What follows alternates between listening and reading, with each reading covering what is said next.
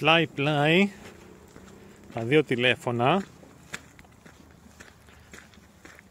4K30 αυτό το βίντεο έχει γίνει edit προφανώς για να ενωθούν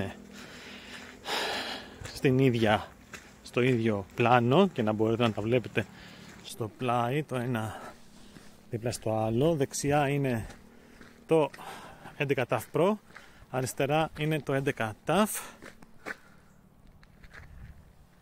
με ηλεκτρονική σταθεροποίηση ενεργοποιημένη